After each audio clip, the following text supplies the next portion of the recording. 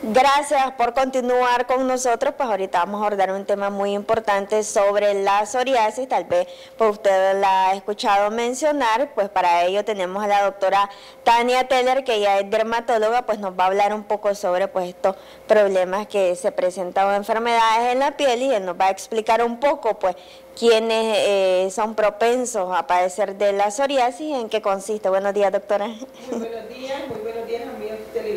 Vamos a hablar del tema de la psoriasis, que probablemente más de algunos de nuestros amigos televidentes lo ha podido ver, pero que a veces se confunden con otras enfermedades como infección por hongo y tienden a rechazar a este paciente que presenta esta enfermedad.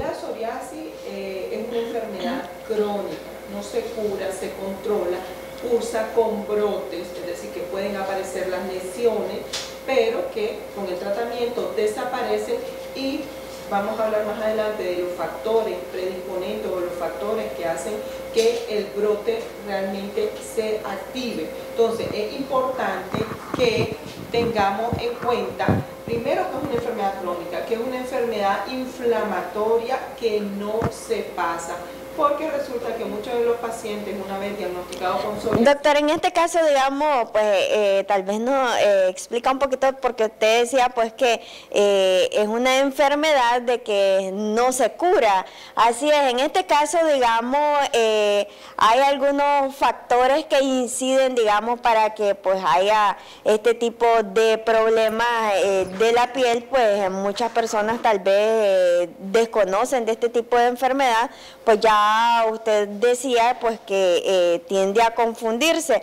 En este caso también se habla que de edades muy tempranas pues eh, se presenta este tipo de enfermedad. Estábamos viendo pues según buscando información entre los 15 años a los 35 se habla que pues están propensos.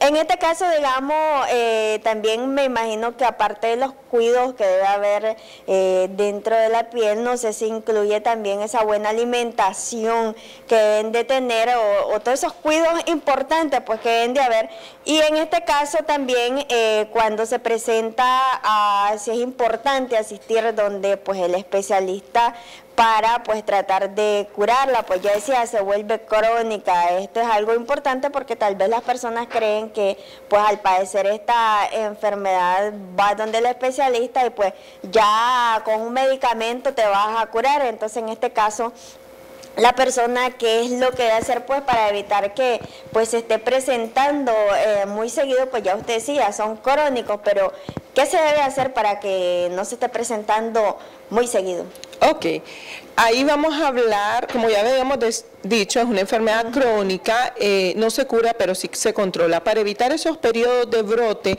es importante evitar varios factores. El primero es el estrés, es decir, un paciente con psoriasis que esté sometido a mucho estrés va a hacer que los brotes sean más propensos.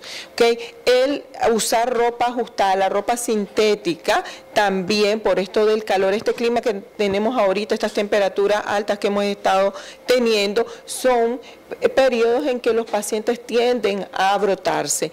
Como bien lo decía, hay un, periodo de incidencia o un pico de, máxima expresión de la enfermedad que va desde los 20 hasta los 30 años. Puede aparecer en cualquier edad, pero el pico más alto se da entre los 20. Ah, no a todas las personas les da psoriasis, eso hay que tomarlo en cuenta. Eh, hay una predisposición genética para tener psoriasis. Se habla que un tercio de los pacientes con psoriasis tienden a algún familiar de primero y segundo grado ya con psoriasis. Entonces, pero ¿dónde vamos a ver o cómo vamos a ver estas lesiones? Nosotros mirábamos imágenes anteriormente y cómo la vamos a reconocer. Bueno, son lesiones sobrelevadas con unas eh, escama gruesa o una descamación gruesa, la piel se pone muy roja y áspera, entonces es importante, eh, los sitios más frecuentes son la área extensora, es decir, los codos, las rodillas, el cuero cabelludo, que también lo podemos diferenciar de aquellos pacientes que tienen dermatitis seborreica o caspa, que nunca, es decir, se ponen el tratamiento y no mejoran y no mejoran, entonces probablemente pueda estar cursando con una psoriasis del cuero cabelludo. Ahora, en este caso, digamos, si esta persona tal vez no controla el estrés, aunque tenga su tratamiento para curarla, ¿ayuda o no ayuda en esto? Ok, esta parte es bien importante. Si los pacientes no controlan los factores desencadenantes o agravantes, aunque esté con tratamiento, obviamente los brotes van a ser más cortos o va a ser más difícil que resuelvan el brote que tienen actualmente. Eh, aquí hay un, factor importante. Eh, la psoriasis debe ser manejada por los dermatólogos y eso va a depender de qué tanta área del cuerpo tengan afectadas, porque existen diferentes tipos de psoriasis. La más común es la psoriasis vulgar, y esto es que eh, no es... Eh, no es nada más ni nada menos que las que se van a manifestar a nivel de los codos, de la región baja del, de la, del coxis, del cuero cabelludo, de las rodillas. Pero existen otras localizaciones menos frecuentes, pero que las tenemos que tener presentes. Por ejemplo, los pliegues, como la axila, eh, inframamario, la región inguinal.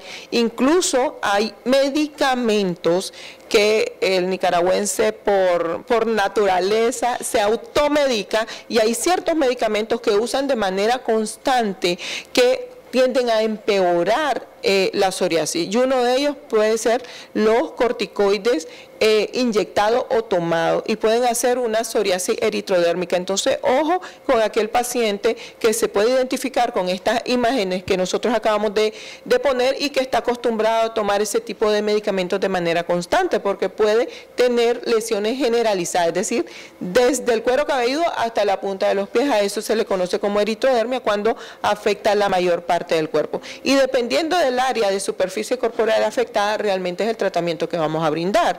Si es menos del 20% del área de superficie corporal, pues vamos a usar tratamiento aplicado. Como cremas, este, podemos usar cremas emolientes porque la piel nosotros la renovamos eh, fisiológicamente cada 28 días, pero en este tipo de paciente esa renovación se da cada cuatro días, por eso es ese acúmulo de piel y las lesiones características que se vuelven unas escamas gruesas. Entonces, eh, las cremas hidratantes también son importantes en esa fase, pero si no resuelve, si hay muchos factores eh, eh, predisponentes o de riesgo para que este paciente no mejore con los tópicos, pues se dan tratamientos sistémicos, incluso se pueden usar ya sea pastillas o inyecciones. Por eso, perdón, es importante que realmente visiten al dermatólogo porque dependiendo de la gravedad del caso es realmente la terapia que el paciente requiere. Ahora, doctora, la atención, digamos, eh, de las personas que tienen diabetes, tienen VIH o tienen otro tipo de enfermedades crónicas, ¿Cómo, eh, digamos, el tratamiento, el proceso, digamos, para este padecimiento?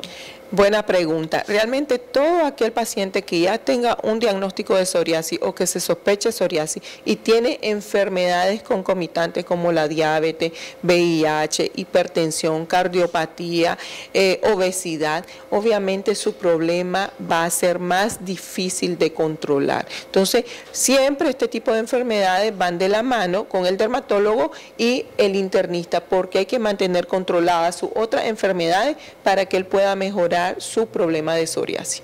Ahora, esto se presenta, digamos, en cualquier momento, hay su época, digamos, del año en la que se puede Mire, eh, aquí hay algo bien interesante porque nosotros los dermatólogos siempre decimos cero sol, cero sol, cero sol, eh, no, no asolearse, pero el sol en, los pacientes con psoriasis es beneficioso, por supuesto sin abusar de él, pero hay tratamientos este, que usamos radiación como la fototerapia, pero que si el paciente no tiene acceso a este tipo de tratamiento, lo podemos usar con los famosos baños de sol, como se le daban a los niños eh, recién nacidos, que los sacamos 10 minutos en el sol temprano de las 7 a las 8 de la mañana y va a ser beneficioso. Es decir, que en pacientes con psoriasis, el sol sí es beneficioso siempre y cuando no abusen de él ni de las horas expuestas. Digamos, a partir ya de qué hora pueden utilizar. Lo importante es tener una exposición corta, no máxima de 10 minutos, y pueden ser entre las 7 y las 8 de la mañana. Ahora, digamos, esto eh, deja también, me imagino, eh, alguna secuela, cicatriz, mientras se presenta, después desaparece, digamos, este padecimiento? Exactamente. Realmente en los pacientes con psoriasis, donde tienen las placas, una vez que desaparece la placa, queda como una mancha, eh, le decimos nosotros, hipopigmentada, es decir, que va a ser más clara que su tono normal de la piel y incluso con un halo blanco que a veces es característico de, de estos pacientes.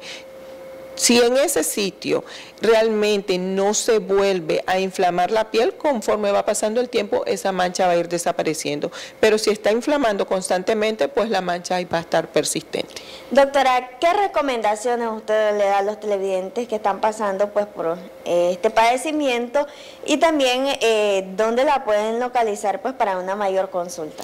Claro que sí, si sospechan que tienen psoriasis o no saben con certeza qué problema de piel tienen y se ven identificados con las imágenes que acabamos de poner, realmente tienen que visitar al dermatólogo. Eh, yo estoy ubicada en la consulta externa privada del Hospital Salud Integral. Pueden escribirnos al número del WhatsApp al 8988-3631. También nos pueden seguir en las redes sociales. Aparecemos en Facebook como Modermic y en Instagram como Modermic-S Integral. Bueno, muchísimas gracias doctora por este importante tema y recomendación para todas las personas pues que padecen de psoriasis. Nosotras nos vamos a una pausa comercial.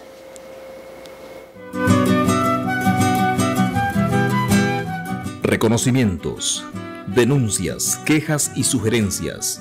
Envíelas a Canal 12. Programa Buenos Días Nicaragua. Residencial Bolonia.